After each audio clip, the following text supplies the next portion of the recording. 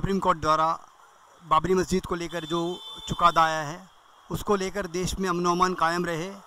इस उम्मीद के साथ रविवार को अहमदाबाद ईद मिलादुलनबी सेंट्रल कमेटी की तरफ़ से जो निकलने वाली जो जुलूस था, उसे पोस्टपोन करने का फ़ैसला किया गया है। हमारे साथ अहमदाबाद ईद मिलादुलनबी सेंट्रल कमेटी के रफ़ीक नगरी साहब हैं, जो हमें बताएँगे कि क्या वजह है? कल ईद मिलादुलनबी के का जो जुलूस निकलता है हर साल, उसे अहमदाबाद शहर में निकलने वाले जुलूस को पोस्टपोन करने का फैसला किया गया। हमारे साथ बहन रफ़ीक नगरी साहब, रफ़ीक नगरी साहब, यूनिस से बात करने के लिए बहुत बहुत शुक्रिया।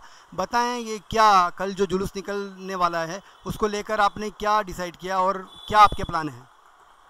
मेरा नाम रफ़ीक नगरी वाला मैं ईद मिलादुलनबी सेंट्रल कमेटी का चेयरमैन हूँ। आज ये हमको इसे मिला जो नबी सेंट्रल कमेटी के जानब तरफ़ से अहमदाबाद पुलिस कमिश्नर साहब ने हमको पूरी परवानगी दी। हर साल की तरह इस साल भी पूरी परवानगी दी।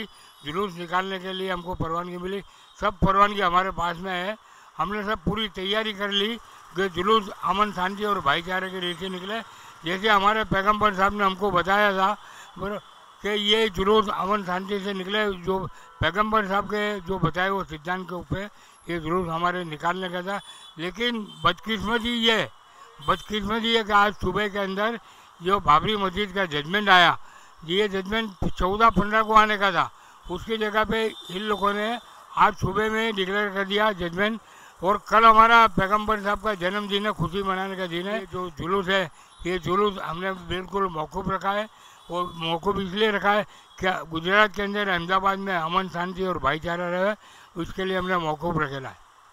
तो ये थे रफ़ीक नगरी साहब जो बता रहे थे कि अहमदाबाद में और देश में अमन और शांति सद्भाव बना रहे, इसलिए इस जुलूस को हमें मौकूफ़ रखने की ज़रूरत पड़ी है। मैं न्यूज़ फाइव के लिए इरफान सैयद अहमदाबाद।